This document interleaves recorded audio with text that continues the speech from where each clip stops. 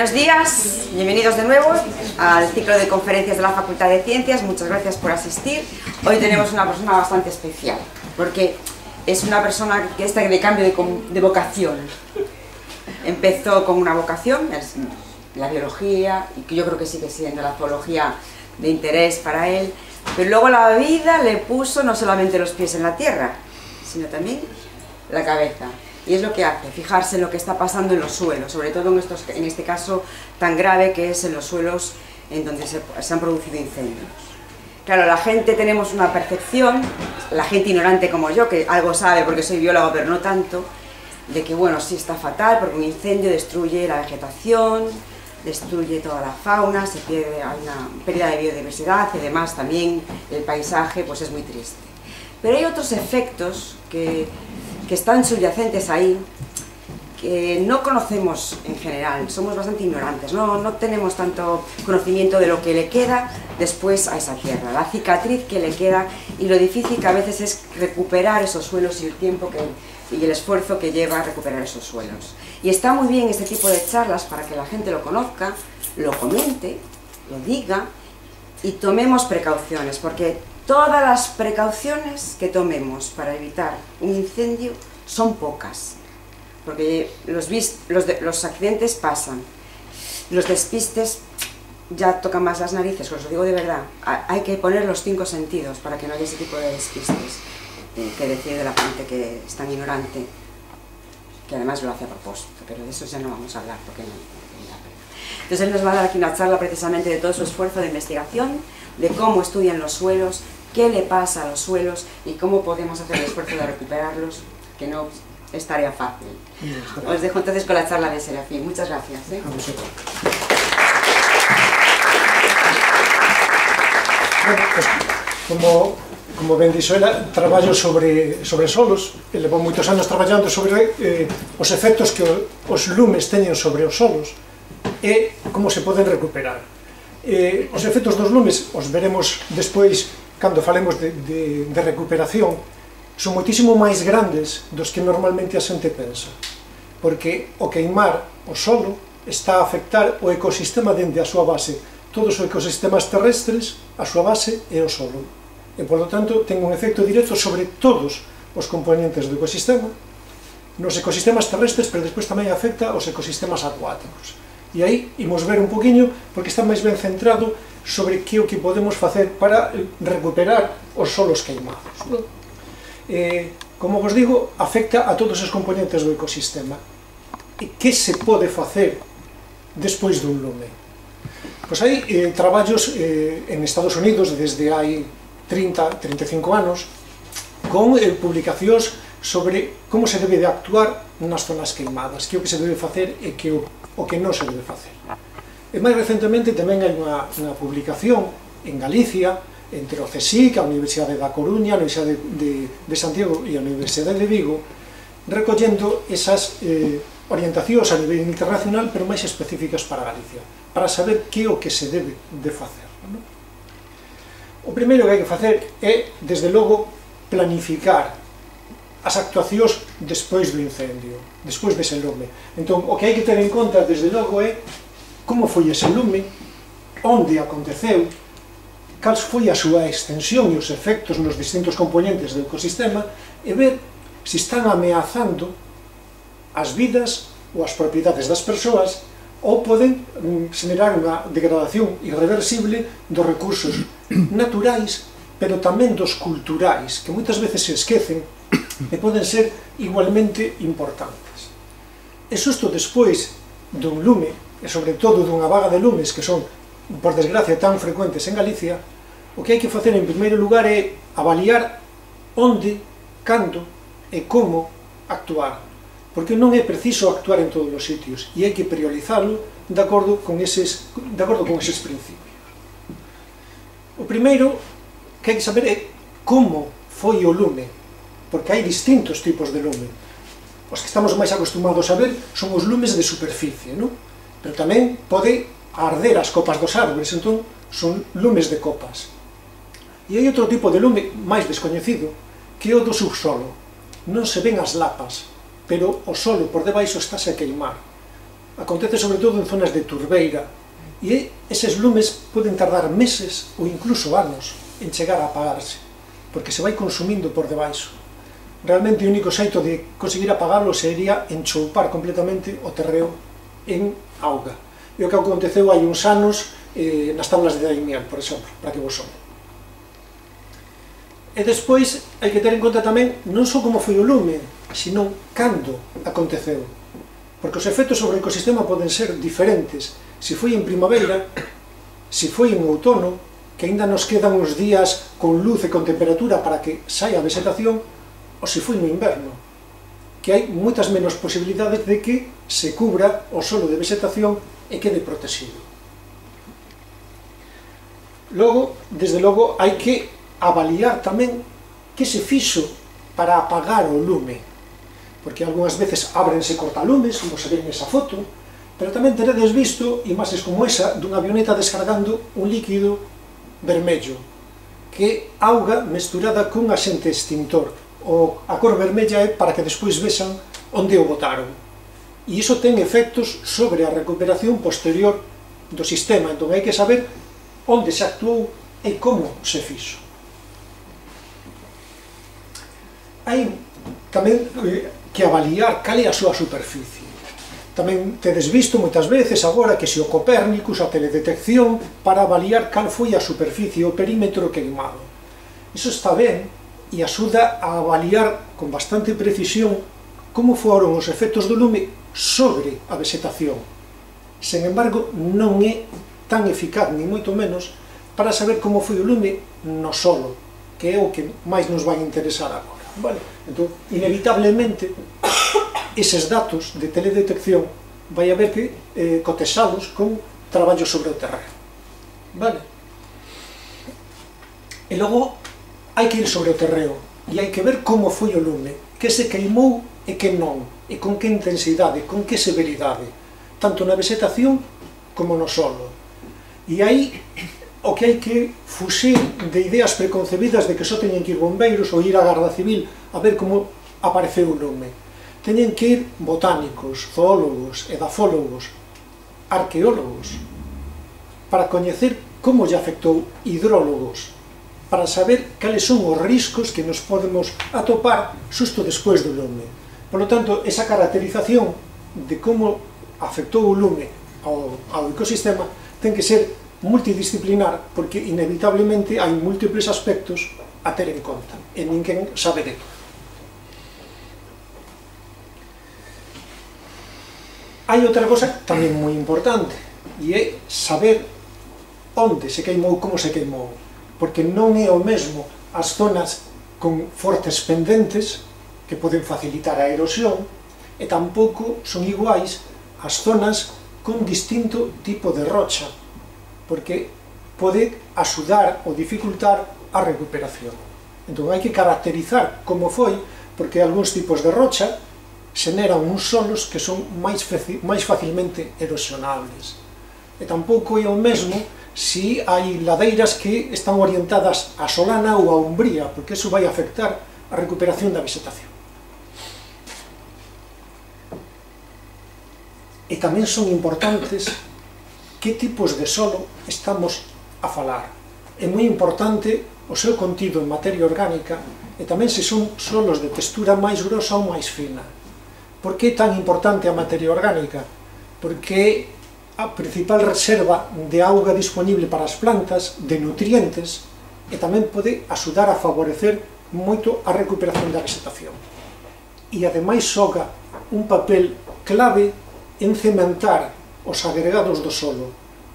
Se a materia orgánica se queima, os agregados non, ten, non teñen nada, as areas, as arxilas, non hai nada que as una, e entón son máis facilmente erosionables. O contido de materia orgánica do solo é moi importante e en Galicia é importantísimo en Será. E, por suposto, non é o mesmo que arda algo a carón da, Coru da, da cidade da Coruña ou que arda na Gudiña unha mezquita no, no surleste de, de Ourense que ten unha climatoloxía completamente diferente. Entón, as actuacións van a ser diferentes e os riscos tamén. E unha das cousas que vos decía que é imprescindible é avaliar como é a rede hidrográfica na zona queimada. Porque en función deso imos poder avaliar cales son os riscos eh, erosivos por precipitación. Tamén se si hai unhas zonas asolagables e se si se fan, nalgún caso, estupideces en zonas asolagables. Esa imaxe que vedes aí, completamente anegada, é de C, despois da vaga de lumes do ano 2016, que veu seguido despois unha morea de auga que choveu, son cursos de auga moi curtos, entón de seguida desembocan o mar e, e provocan episodios de, de enchentes, pero claro, é que foron moi listos e decidiron que metían o treito final de tres regatos por debaixo das, das rúas. E logo, claro, a auga dixo, eu quero pasar por algún sitio. Toda a zona queimada eh, non é capaz de reter auga, toda a precipitación escorre rapidamente, e se ademais somos tontos e ponemos un embudo final, pois pasan estas cousas. E iso hai que tener en conta, porque esa sería unha zona de risco. Non? E hai outro factor tamén moi, moi importante en Galicia, en todas as partes, pero en Galicia lamentablemente moito, que é a recurrencia dos lumes. As posibilidades de recuperación dunha zona queimada diminúen con coa frecuencia con que se queima. E lamentablemente vedes aí nas zonas marcadas en vermello sobre todo na provincia de Ourense, tamén en Pontevedra e moito máis raramente na Coruña e en, en Lugo que arden recurrentemente cada 3, 5, 6 anos. E esos son os solos que non son capaces de recuperarse desde un lume ata o lume seguinte. Non é capaz de recuperarse a vegetación, a materia orgánica dos solos, a fertilidade dos solos. Entón, entramos nun, nun espiral de destrucción que cada vez é máis grave. Lamentablemente, hai, hai zonas nas que eh, a recurrencia dos lumes é tan alta que as posibilidades de, de actuación e de recuperación eh, son reducidas. Non? E logo hai que ter sempre en conta que os lumes son sempre, sempre moi heteroxéneos. Moi heteroxéneos porque a cantidade de biomasa que poden queimar resístome a chamarlle combustible porque é biomasa, son seres vivos. A cantidade de biomasa que hai nunha zona ou noutra varía a carga que se pode queimar. Pero, ademais, en función da pendente e do vento, o lume pode pasar máis rápido ou máis despacio. Se pasa máis rápido ten un problema, é que pode queimar moita superficie. Pero ten unha vantaxe. Se pasa moi rápido, a vegetación e o solo están quentes menos tempo. E se reducen os danos.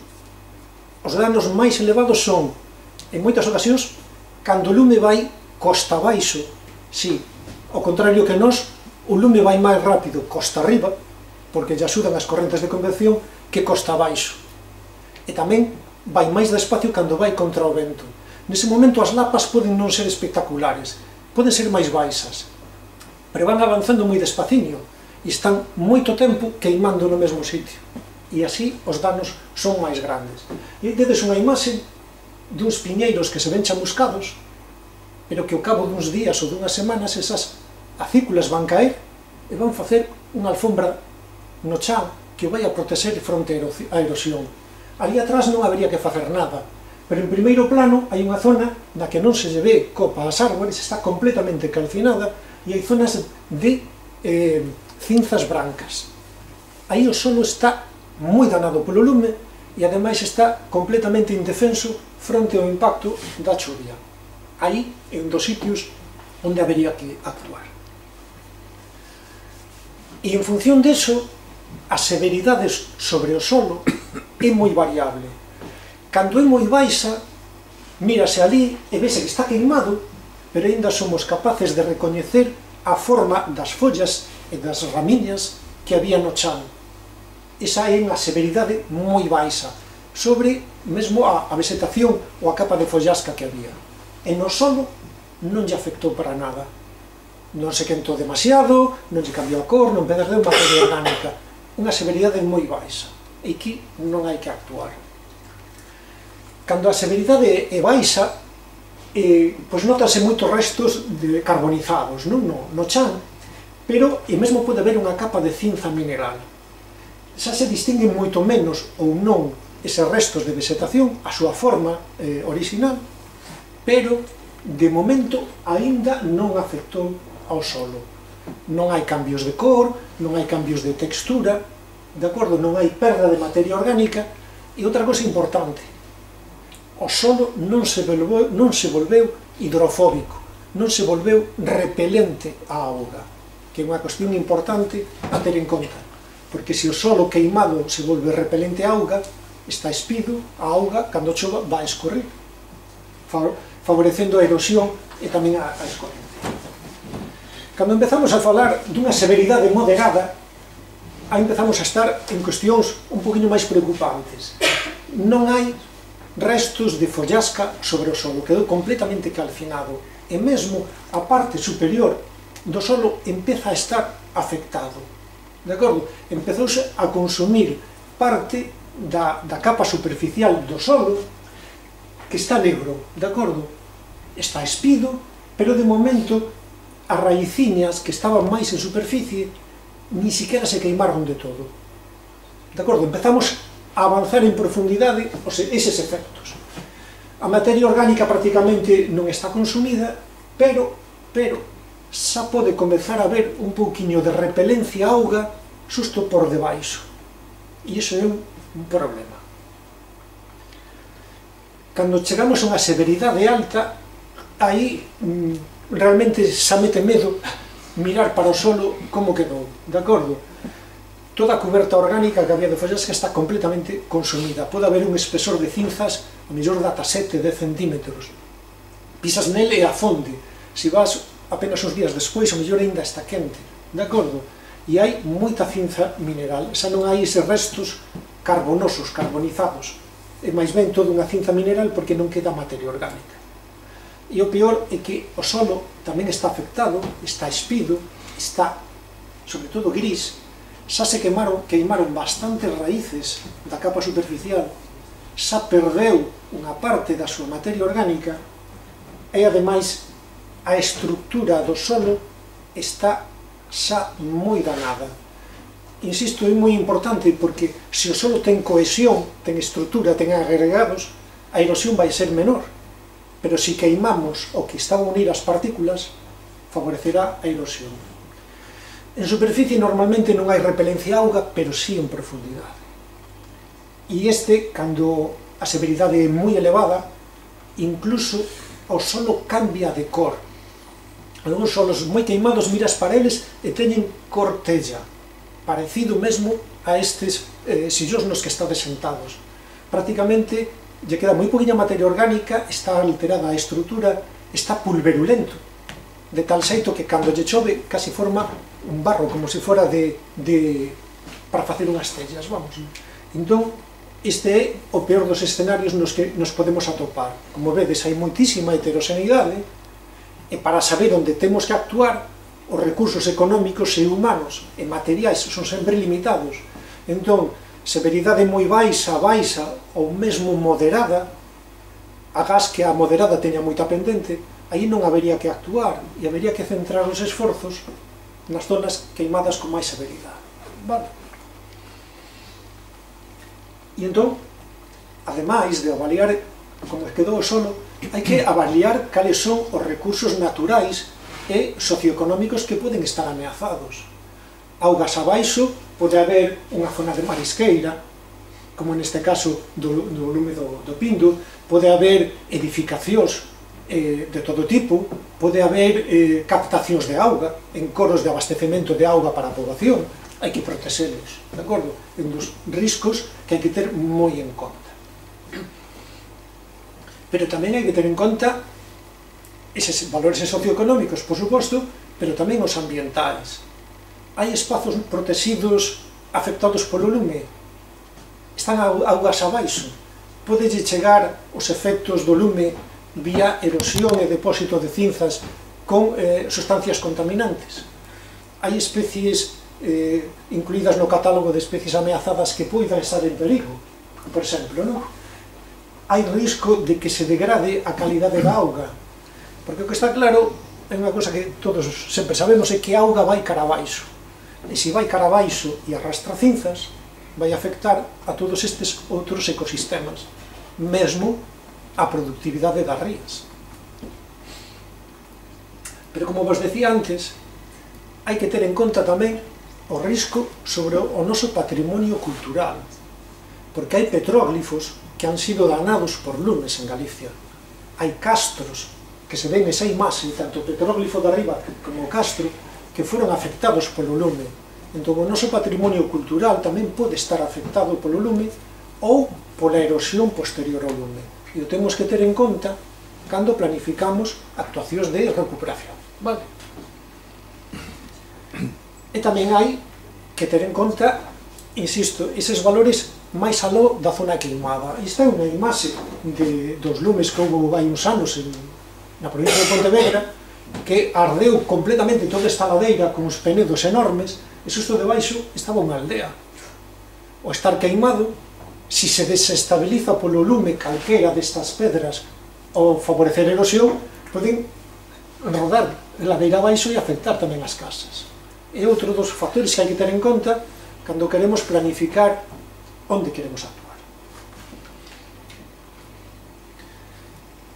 Ben, Entón temos agora bastante claro que despois do lume temos que intentar planificar esas actuacións, ver onde, cando e como actuar e priorizar, insisto, todas esas eh, actividades que podemos desenvolver. Non? Hai que reducir o risco para as persoas e as propiedades, para o patrimonio natural, para o patrimonio cultural, e o que hai que intentar é evitar que os danos posteriores ao lume agraden o efecto do lume. O lume dana moito a vegetación, dana a fauna e dana o solo. Pero a erosión, cando me preguntan da, despois dunha vaga de lume os, os jornalistas, e cando se pode recuperar e que pasou? Digo, ollo, que o peor quizáis aínda este por vir. Si, si despois duns lumes moi intensos, como aconteceu, por exemplo, este ano, hai apenas unhas semanas, en Grecia, lle ven Daniel Mm. Sí, sí. Entón, é moitísimo peor a situación.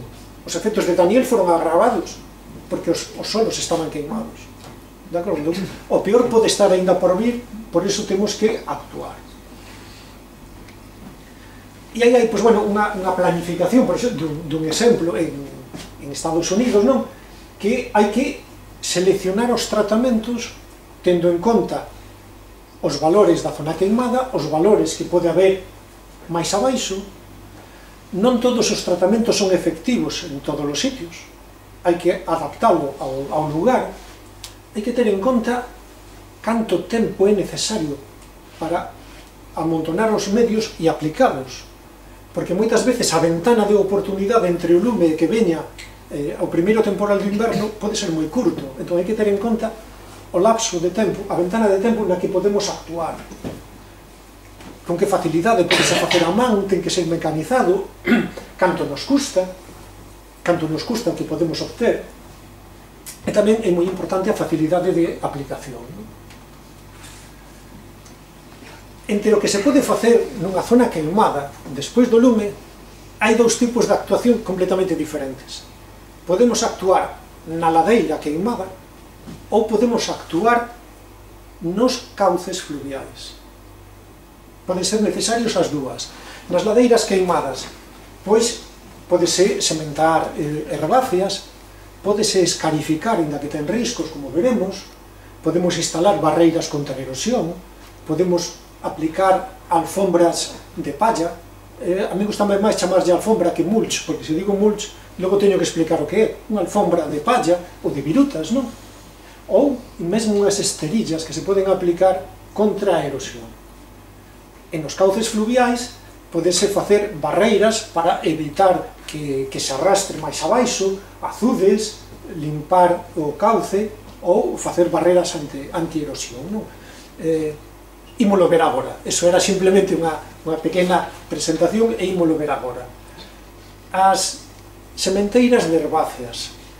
Eh, despois do lume eh, alguna xente diga, hai que plantar árbores, non, as árbores non nos sirven de nada, despois do lume. Inmediatamente non nos sirven, nin os arbustos. O único que nos poden servir son as herbáceas, que poden serminar e cubrir rapidamente o solo queimado e facerlle de venda que protexa esa enorme ferida. Pero hai que ter en conta que, dependendo da época do ano, eso pode non ser suficientemente rápido. De acordo? se é en primavera pode virnos ben, principios do outono como moito, pero se é final do outono, xa non temos tempo para que medre e o protexa. Hai que avaliar como está a vegetación, porque en función deso hai que actuar ou non. E que ter en conta unha cousa. Ollo que as sementes que aplicamos non introduzcan especies exóticas invasoras. De acordo? Por iso, moitas veces non se recomenda empregar sementes comerciais de pratenses, que mellor aparecenche un montón de especies de Sudáfrica aquí, porque veñan mesturadas. E moitas veces son mellores, pois, eh, gramíneas de, de aquí, ou mesmo cereais cultivados que despois non van a poder non van a poder eh, competir con vegetación natural. Como vos decía antes, outra das posibles actuacións é a escarificación escarificación, arañar un pouquiño a superficie do terreo, a man con rastrillos ou aí, como aí, cun cuaz, non? Ten algunhas vantaxes, porque o escarificalo faz un pouquiño de rugosidade e favoreces a infiltración, preparas un pouquiño o terreo para, para a sementeira, pero pode ter riscos eh, importantes e por, normalmente non se aconsella. Podese facer con coaz se a pendente non é moi forte e se non con, con coaz Outra das vantaxes que reduce a, a repelencia a auga. Pero iso de transitar moita xente por un queimado ou transitar cun coaz por un queimado arrastrando algo que arañe a superficie do terreo moitas veces non é o mellor. De acordo? O pisoteo mecánico ou por bípedos humanos pode eh, favorecer a erosión. Por iso a efectividade é dubidosa, eh, moitas veces non se recomenda. Eh? Se queredes ter unha idea de custe, se se fai a mano, a man costa de orden de 120 euros por hectárea, e con coaz, perdón, con coaz 120 euros por hectárea, e un traballo manual o mellor 600 ou 600. A outra medida que é máis eficaz, ten menos problema, é instalar barreiras contra a erosión, que poden ser pacas de palla, como se ven aquí, eh, fixadas o terreo con as estacas, pola, polas curvas de nivel, separadas en, en espiña de peixe, de acordo, de tal xeito que reteñen o fluxo de auga, reducen o fluxo de auga, acumulan parte dos, dos sedimentos e favorecen esa retención e, polo tanto, que a auga que despois filtra chegue máis limpa aos cursos de auga. De acordo? Man, mantén os sedimentos erosionados o máis perto posible do sitio onde se produce. Podese facer tamén zanxas a man ou a máquina. Como vos decía, polas curvas de nivel, ás veces pode ser levando material como esas pallas ou aproveitando algúns troncos que se que xa non son madeirables ou non os aproveitan, se poden cortar, deitalos, facerles unha pequena gavia pola parte de arriba, e se están ben feitos, poden ser eficaces. Vale, vantaxe, reducen a longitude da pendente. A erosión é tanto máis grande, canto máis forte é a pendente, e canto máis longa é, porque colle máis velocidade a auga, certo? Se lle poñemos esas barreiras, reducimos a longitude reducimos a erosión, vale? Atrapan sedimentos e favorecen a infiltración, de acordo? Logo, se son materiais máis grosos, que se indica aí, mai, troncos de 20 ou 30 cm de diámetro, podense cortar en, en, en treitos como de 4 ou 6 metros, eh, apilarlle tamén algunhas, algunhas gallas por ali, pola parte de arriba, estabilizalo, e normalmente, como vos decía, ningunha destas medidas se aplica en zonas de baixa severidade. Son en zonas como mínimo de severidade moderada, se hai moito risco, ou senón en zonas de severidade alta ou moi alta, e que teña risco de erosión. Por suposto, teñen que ser unhas zonas arboradas para poder dispoñer deses árbores queimados e deitalos ali. E con pendentes entre moderadas e fortes, entre 25 e 60%. De acordo? E normalmente se aplican si ao gas abaixo hai valores en perigo. Como vos decía, eh, o, a disposición é como un muro de ladrillo, sabedes que muro de, nos, nos muros de ladrillo van descolocados, van desalineados un co respecto ao outro, non? Pois a disposición sería a mesma, de acordo? Para interrumpir eses fluxos, e normalmente cada 3 ou 5 metros de distancia e sempre pola curva de nivel. Fai falta personal que saiba colocalas, de acordo? E que saiba facelas, porque se se fan mal, os, eh, os riscos de erosión poden ser maiores. Porque se o faz mal e falla, o mellor o que estás a facer é a concentrar a erosión por unha zona determinada. Por eso teñen que ser sempre supervisados. Vale eh, falaba, cando preparei isto, eso gustaría entre, entre 1.000 e 3.000 euros por hectárea queimada. De aí que, sal, que nos demos conta de que non se pode facer en todos os sitios e hai que escollerlos. Os colectores de, de sedimentos, que tamén se empregan, non moito, é cuestión de eh, dispoñer uns setestiles eh, enclavados con estacas polas curvas de nivel, de tal xeito que faga o mesmo efecto. Unha barreira retén os sedimentos cara arriba e evitamos que se erosione. Vale. Normalmente non se emprega. Precisamente polo custe, que despois hai que desmontalo, etc. Pero bueno, son eficaces. E son moi, eh, moi eficaces atrapando sedimentos, como vedes nesa imaxe de abaixo, por exemplo, aí se está protexendo unha charca que está augas abaixo Entón, instálanse estos xeotextiles, son moi eficaces, reteñen eses sedimentos e consíguese que non se colmate, pode ser unha charca natural ou pode ser un encoro de abastecemento de agua. E bueno, son costosas, andan ao redor dos 200 euros por cada un, tendo en conta os materiais e a instalación. E é o que vos falaba, que son os alfombrados, o que algúns queren chamar mulch, pero realmente o nome é un alfombrado. Empezaronse a empregar hai máis de 40 anos, pero sobre todo neste século, porque eh, son no, normalmente palla, viruta, restos vegetais da zona triturados, que se obtenen in situ, e que se dispoñen sobre a superficie. Non é preciso cubrir totalmente a zona queimada. Se se consigue cubrir 50 ou 60%, xa son eficaces para reducir rapidamente a erosión. O contrario que as sementes, que teñen que xerminar, enraizar e medrar para protexelo, o alfombrado protexe o solo desde o momento en que se aplica. Ixa é unha vantaxe da rapidez. Vale? Podes aplicar en seco ou en húmedo, tamén se ten feito pois, para recuperación de, de noiros de estradas, non?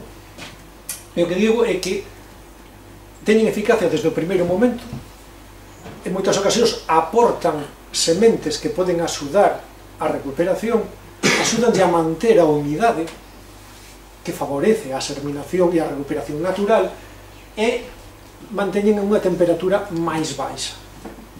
De acordo? Que tamén lle pode axudar. E normalmente, como vos decía, de novo, zonas queimadas con severidade moderada ou, ou alta e que teñan un elevado risco de, de erosión ou que haxa os valores importantes ao gas abaixo que se poidan ver afectados, de acordo?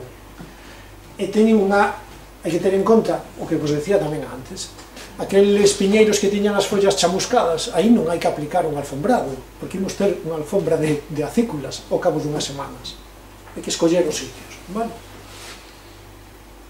E podes aplicar tanto en, en seco como en húmido sesa con, con tractores como están a facer, a, a facer aí de acordo? Desde, desde as pistas ou desde os cortalumbres de acordo? En zonas que teñan eh, mellor en húmido si é unha zona moi, ex, moi exposta aos ventos que puderan arrastrar a, a palla en seco ou os alfombrados en secos non? e en zonas que non teñan demasiado arborado porque senón o intentar eh, espallalo vai estar tropezando coas árboles. E tedes varios exemplos, unha con tractor, outra cun camión e unha terceira aquí con, con helicóptero. En dous dos casos son imaxes de Estados Unidos, tamén leva un, un colorante para saber onde, onde se aplicou. A cuestión é que en, ten unha, unha distancia de aplicación limitada de, con respecto ás estradas, ou dúas pistas ata onde poden chegar os cañóns que proxectan ese, ese alfombrado líquido e tamén son, como todos os casos, eh, custosos. Pode parecer que non é moito, pero con a, ao redor de dúas toneladas e media de palla por hectárea é da bondo. Vale.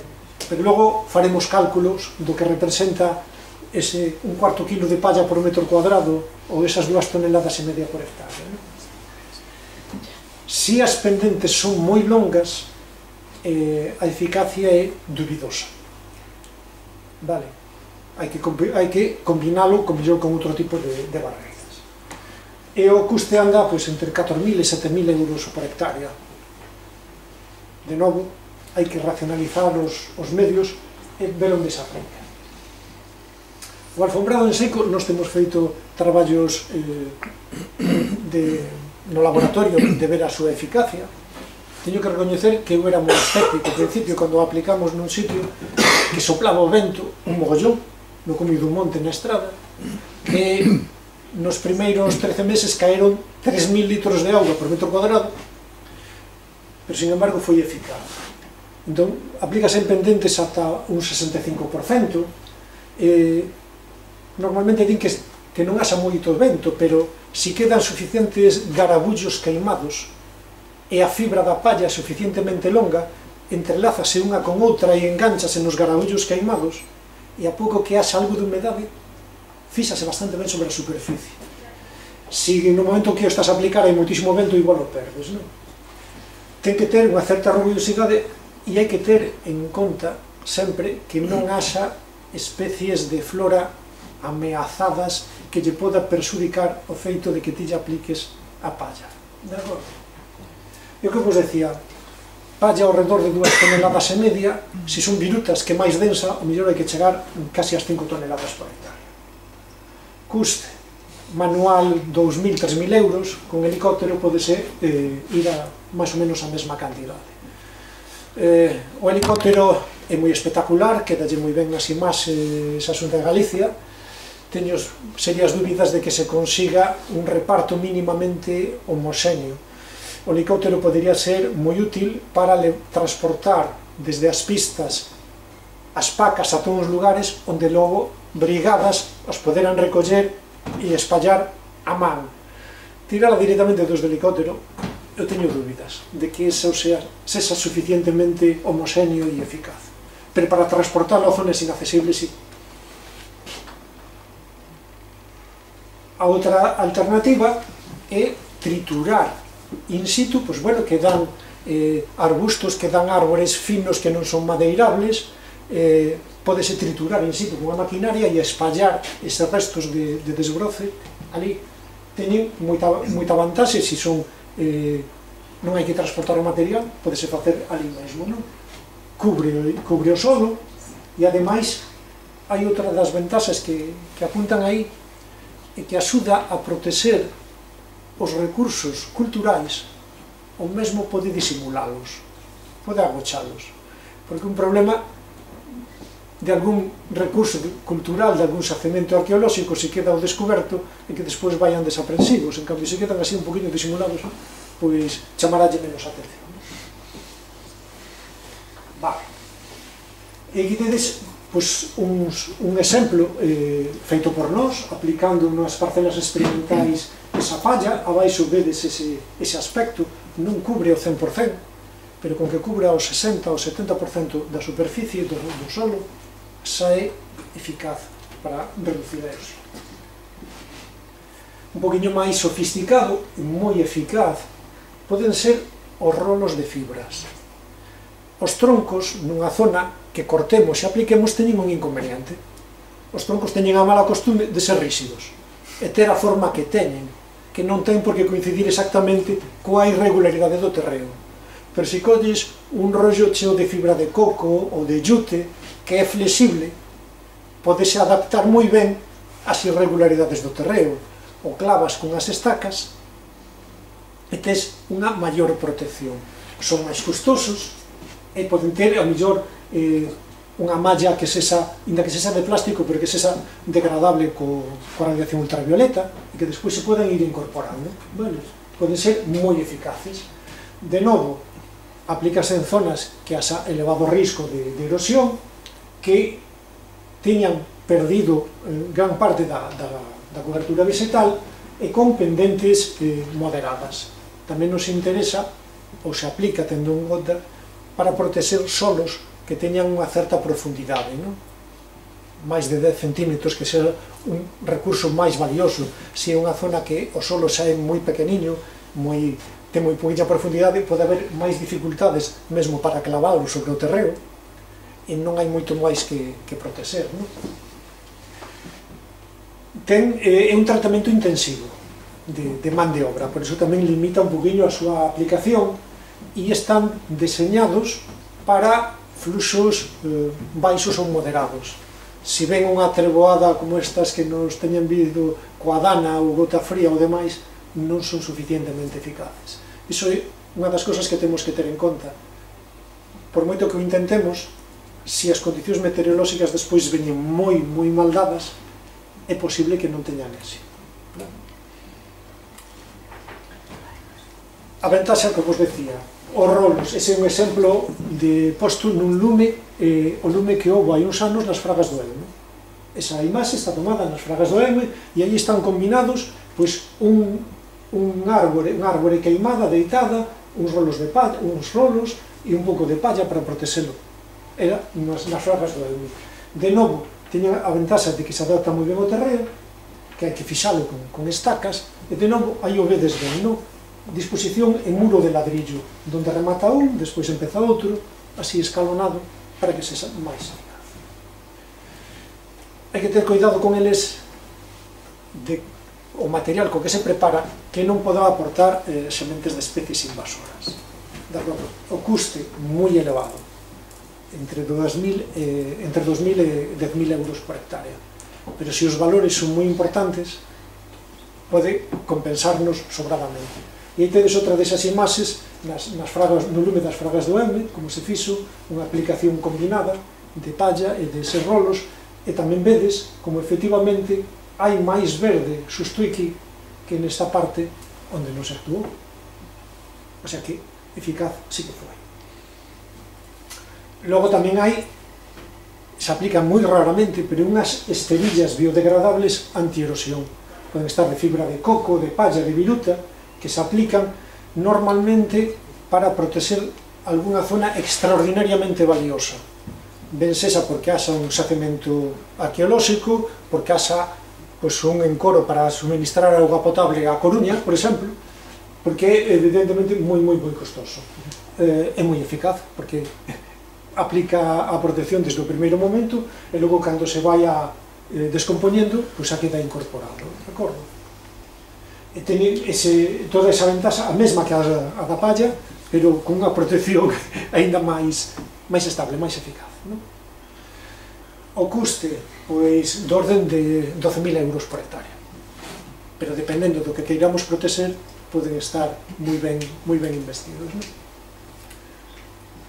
Isto xa me gusta menos, pero bueno, tamén hai tratamentos químicos. Como vos decía, un dos problemas do lume é que queima a materia orgánica que é o principal cementante que une as partículas minerais e fai os agregados, eses grumos que vemos no solo cando collemos. Se se queima, a materia mineral podese erosionar máis facilmente. Solución, podes aplicar algún produto químico natural, por exemplo, agar-agar, ou algún, eh, alguna poliacrilamida. O problema das poliacrilamidas, se son catiónicas ou iónicas, e que unha é moala tóxica, e as outras son menos malas, pero non son inofensivas. De acordo? Entón, para mí sería unha eh, medida de última de último recurso que se di, non? Porque o que, o que axuda é a unir de novo esas partículas minerais co cal dificulta a súa erosión. Mm, vou ir un poquinho máis rápido, porque son as intervencións en cauces, de acordo, é o que vos señalaba antes, pero aplicado no, nos propios cauces.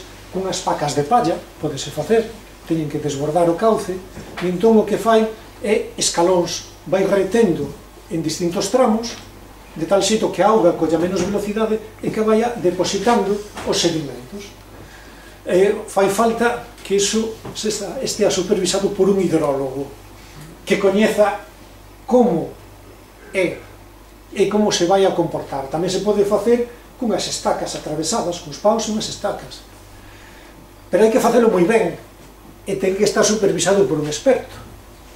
Porque se reventa a pequena escala, pois a pequena escala sí. é o que pasou en Libia agora, que reventou un encoro e soltou toda a auga con máis forza para baixo. A pequena escala pode generar o mesmo. Entón, este tipo de intervencións teñen que ser feitas por, por expertos. Non? E o que indico os riscos, se fallan, poden ser peores que se non se tiveran feito. Se están ben feitos e aguantan, pode funcionar. Vale. E aí tedes outros dous exemplos, con, sesa con troncos ou con, ou con gavias metálicas, de acordo? Que axudan a reter eses sedimentos, non chegan augas abaixo, e esa zona onde se acumulan os sedimentos son fértiles para que se instale de novo eh, a vegetación. De acordo? axudan a manter a calidade da auga, porque todos eses sedimentos que quedan retidos en menos turbidez que vai coa auga para baixo. Vale. Este é un esquema, isto por certo, se despois o queredes, podolle pasar a, eh, un, un PDF coa, coa presentación, por se o queredes ter, non hai ningún problema, inda que isto vos non o iríades a facer, porque ese é como se disporía nun, nun cauce eh, as pacas de, de palla, de acordo, para reter eh, unhas poucas eh, gallas tamén por aquí para reter e frenar un poquinho a forza da auga e que eso nos faga pois, un pequeno encoro de palla que axude a reter. Outra das estrategias é deitar árbores en contra da corriente alternos cada 150 metros, de tal xeito que, se si ven unha, unha enchente, frene un pouco a velocidade da auga Canto menos velocidade, menos forza, menos capacidade erosiva. De acordo? De novo, hai que actuar eh, para proteger sobre todo nas, nas zonas altas dos, do, das, do, das vacías, de acordo? E en zonas que, que se xa preciso reducir esa velocidade da agua. o custe do orden de 2.000 euros por, por kilómetro de calce. Tamén se pode facer está intentando non reter tanto a auga como con eses pequenos eh, diques de palla ou de, ou de, ou de madeira, sino dispoñendo como liñas de pedra no leito de tal xeito que frene un pouco a velocidade da auga. Non, non, non se pretende bloquear o paso, pero sí reducir a súa velocidade e a capacidade eh, erosiva. Non? Calquera cosa que se faga nun, nunha canle ten que estar supervisada por alguén que nos saiba decir eso e que normalmente só en zonas que teñan que o leito se sen inestable por exemplo, que teña moita facilidade de erosión ou de arrastre de, de pedras que as apagan. Vale. Non hai moitas evidencias de que sexan eficaces. Tampouco se utilizan moito estes. E logo, outras cousas son estabilizar os noiros dos, dos ríos, dos regatos, se con pedras, sea con xeotestís, sea con algunhas eh, con algúns eh, troncos, non?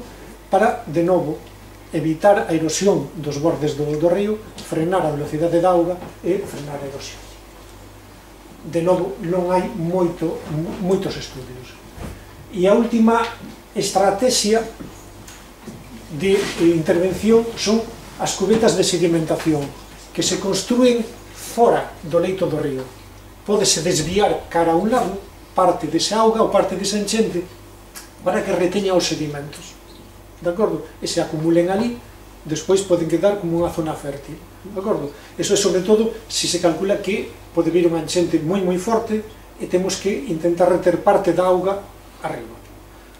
Normalmente fan falta moitos permisos e tardase en, en actuar, por eso se considera unha intervención de, de último recurso hai unha cosa que se pregunta moito e é que facemos coas árbores queimadas despois do lume.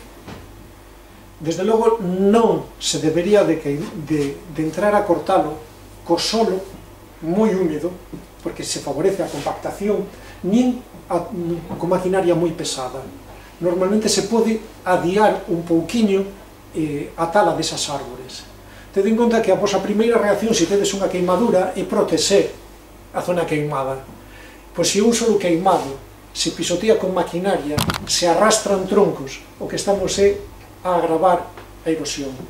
Entón, como moito se hai que entrar a cortar, habería que cortalo por faixas alternas, de tal xeito que mentras se recupere unha, despois talamos a outra, pero nunca unha ladeira completa, porque o que imos facer é agravar o problema. Eu teño visto eh, surcos de un metro de profundidade e un metro de, de largura por pasar maquinaria pesada traballando nunha zona queimada. Porque se compacta, e entón hai que adialo no posible e eh, logo efectivamente retiralo ou triturar os máis pequenos que non, que non son máis, vera, máis eh, que non son maderables, perdón. A eficacia, xa vos fun adiantando un pouquiño o, o longo desto. A eficacia depende de como foi o lume, de severo, da repelencia a auga, que favorece a erosión, canto solo espido quedou. As características do solo nos van a influir sobre a eficacia dos eh, tratamentos que apliquemos. De acordo? Pero tamén hai outros que son completamente independentes e que tamén vos fun adiantando as condicións meteorolóxicas posteriores ao lume. Se ven a chuvia miudiño miudiño moi ben, se ven a chuvia de forte, de golpe, moi moi mal, porque se favorece moitísimo a erosión. De acordo? Aí tedes unhas imaxes do que vos comentaba no, no, monte, no Alto Cabalar, no Monte da Estrada, aplicando esa palla para comprobalo. Isto sería semellante a esas cubetas de xeotextís que os e aí recuperábamos os sedimentos que se erosionaban e comparamos a eficacia dos que tiñan e os que non tiñan palla. A mala noticia é que o que se erosiona dos solos queimados é a parte máis fértil, valiosa e productiva dos solos. Nesta imaxe, vedes que a concentración en calcio dos solos está por aquí abaixo, E a concentración en calcio das cinzas está por aquí, e dos sedimentos. Estáse perdendo a parte do solo máis fértil, máis enriquecida, a máis valiosa. Non só perdemos solo, sino a parte máis valiosa do solo. Por iso é moi importante reducir esa erosión. A boa noticia a boa noticia é que nese experimento que vos estaba ensinando esas fotos, a taxa de erosión con palla reduciuse en máis dun 90%. É moi eficaz, non o podemos aplicar en todos os sitios, pero é moi eficaz. Un cuarto, un cuarto kilo por metro cuadrado, dúas, hectare, dúas toneladas e media por hectárea. Pero farían falta 3.000 camións de 30 toneladas cheos de palla para tapar todo o que se queimou nos lumes do ano 2017. Unha cantidade enorme que ademais competiría co alimento para o gando. Entón, a única solución a solución de verdade é reducir os lumes de orixe humana por neglixencia, por torpeza ou por mala fe. E aí hai unha frase que, que decía a Sociedade Galega de Historia Natural hai 40 anos. A sorprendente pasividade coa que a sociedade galega contempla este fenómeno tan só pode deberse á ignorancia do que realmente está a acontecer e das súas consecuencias previsibles xa sabedes boa parte desas consecuencias, xa podedes transmitir o que sabedes. E tamén, si queredes, a raíz da, dunha das vagas de lume, da de 2017, na Sociedade Galega de Historia Natural empezamos a recibir moitas peticións, porque nese, nese ano afectou sobre todo a franxa litoral de Galicia. Moitísima máis poboación, menos habituada aos lumes, e houve unha corrente de sensibilización popular que quería actuar pero quería actuar e non sabía como, e a xunta non lles decía como. Entón, a idea, algúns votaban, e se saímos e votamos eh, sementes ou plantamos eh, eh, velotas ou castañas, iso non sirve de nada agora. Entón, eh, nos fixemos unha, unha pequena guía que se pode descargar na, na web, son 4 páxinas, con recomendacións do que se pode facer e do que non se pode facer. De acordo? Iso podedes descargar en formato imprimible o, o en ebook. ¿De acuerdo? Y eso que os tenía que contar, hagas que me queráis preguntar algo. Muy bien. Súper interesante.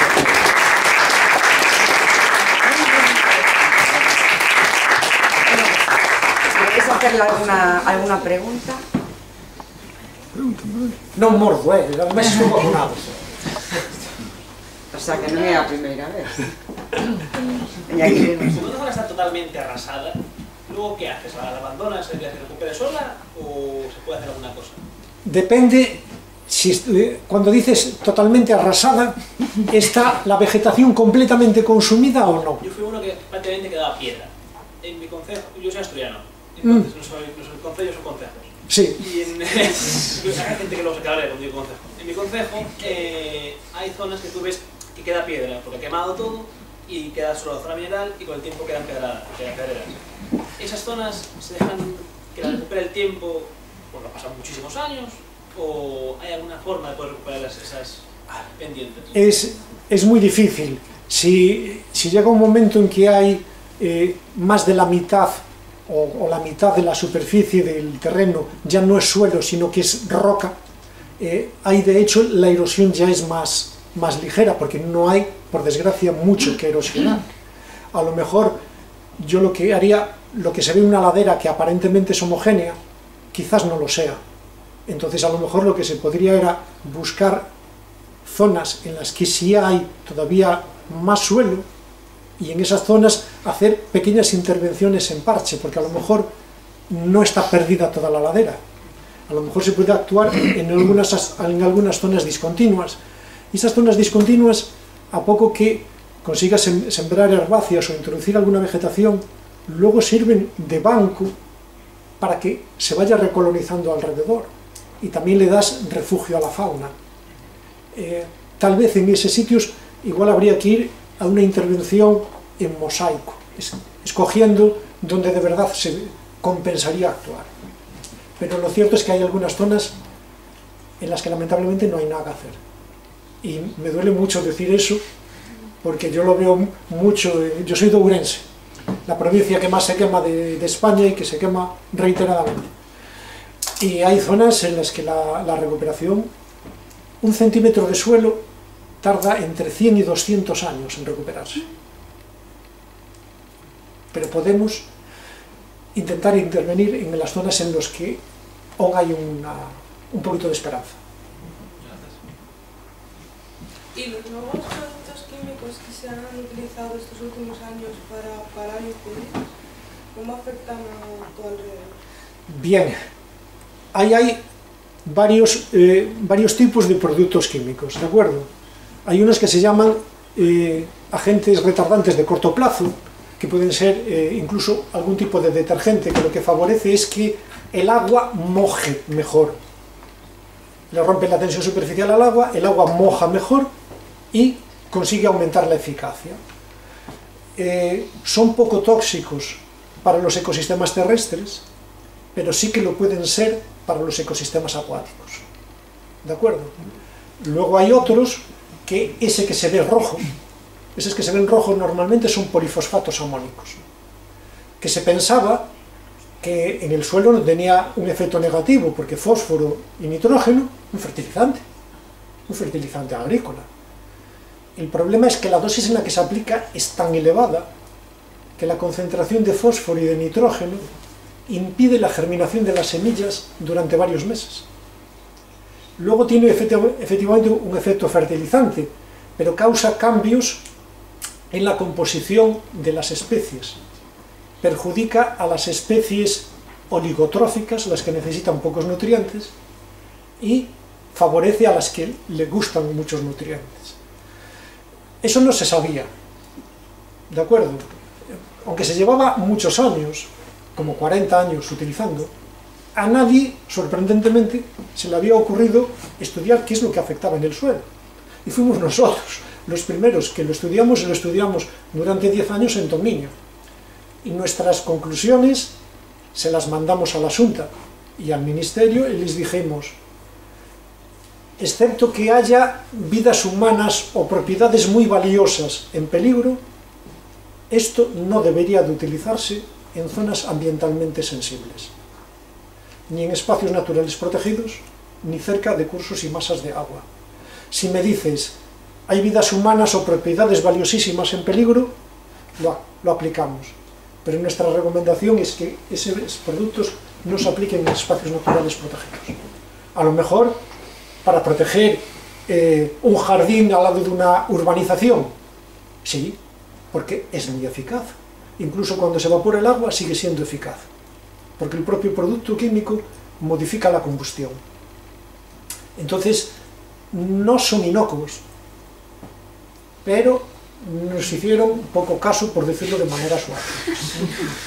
Pero todos esos productos también incluso pueden llegar a, a los freáticos y, y, llegar a los pozos y, y, llegar al consumo humano, ¿no? Sí, más probable es que lleguen por escorrentía. Por escorrentía también. Más probable es que lleguen por escorrentía, que los arrastre el agua y que llegue a una captación. Lo que pasa es que uno, uno está advertido, quiero decir que cuando las ve venir, lo malo es el que no está advertido, el que tiene una casa en algún sitio y ni se imagina que le puede llegar ese tipo de sustancias al pozo.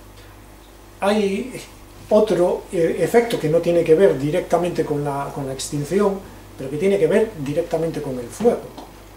Eh, la combustión, cuando es completa, CO2 y agua, perfecto, muy bien, más allá del, del efecto invernadero. Cuando la combustión es incompleta, se generan cientos de productos químicos, incluidos hidrocarburos aromáticos policíclicos, bioacumulables, cancerígenos, teratogénicos, etc. Y si esas cenizas o esos restos carbonizados llegan a un embalse de abastecimiento para la población, podemos tener un problema. Y sí están llegando a embalses. De hecho, nosotros desde la Sociedad Galega de Historia Natural le pedimos a Aguas de Galicia y le pedimos a la Confederación del Miñosil que analizara el contenido en, en esos hidrocarburos en los sedimentos de los embalses, porque vienen de los incendios. Y ya se tienen detectado en Galicia también. De hecho, en un estudio de, investigadores de la Universidad de Santiago, después del Prestige, estaban estudiando cómo les había afectado el fuelol del Prestige al chorlitejo patinegro, a pillar a las dunas, que es una especie amenazada. Entonces, eh, los hidrocarburos, los eh, aromáticos policíclicos, si se acumulan en los huevos, pueden ser menos fértiles. Entonces, estaban cogiendo los huevos infértiles y estudiando el nivel, ¿vale? Y les iba bajando después del prestige, les iba bajando, les iba bajando. Y de repente, en el 2007, le dio un valor cinco veces más alto que el año anterior. Y además, la composición química era diferente que la del folol del prestige. Y se estuvieron devanando los sesos hasta que se dieron cuenta de que, claro, 2007 fue la primera temporada de cría del chorlitejo patinegro después de la ola de incendios del 2006 en toda la beiramar de Galicia.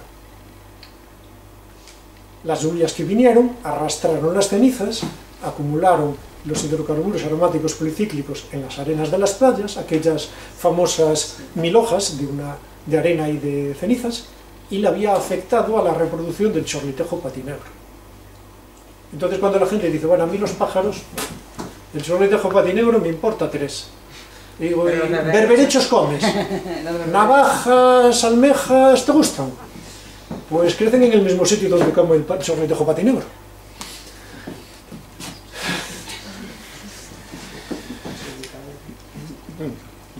Pregunto yo dos cosas. Primera, bueno, dos, y correspondes como los quieras. ¿Por qué Orense se quema, ya que eres de Orense? ¿Y por qué no se convence para que se queme menos? Y segunda, decías que el método más eficaz quizás es el de la paja. Y decías que uno de los problemas es el coste. Otros eh, residuos de, no sé, yo, yo es que soy de, de ciudad, eh, yo qué sé, lo que, eh, los restos de, de, de, domillo, de la paja, de lo que no se utilice, podría utilizarse, tenerlo guardado como si fuese la, la sal para cuando vienen las nieves, Podría ser. sí. o algo así, que fuese más barato. Podría ser. De hecho, después de una de las oleadas de incendio, se puso en contacto con, con nosotros un jardinero de la Universidad de Santiago. Y dijo, mira, es que dentro de nada empezamos a recoger todas las hojas Claro, por ejemplo. y se podrían aplicar. Y yo le dije, me parece buena idea. Lo que sí tendríamos que asegurarnos es que en esas eh, hojas no van restos Bueno, ya. de plásticos y demás, que, que sucede con demasiada frecuencia, y también sería bueno que no llevara semillas de especies exóticas invasoras. Pero sería un recurso perfectamente utilizable si se coge con cuidado si se coge con cuidado. ¿Y por qué arde, por qué arde Ourense? Eh, es una buena pregunta. El, el fuego se ha utilizado como herramienta agrícola y ganadera desde el Neolítico, Bueno, en todo el mundo. En algunos lugares se mantiene su uso. Ourense es la provincia más montañosa de, eh, de Galicia. ¿Vale? Ganadería de montaña, la utilización para mantener o para generar pastos, ahí esa utilización tradicional. Yo tengo además una, ide- una idea que coincide bastante bien, dos ideas. Una, Ourense además es una de las provincias más envejecidas de toda Europa. Entonces la población no es capaz de intervenir y trabajar. Y ahora que hablamos del envejecimiento, hay un factor que alguien sin darse cuenta, yo creo que generó tal vez la, tormenta perfecta.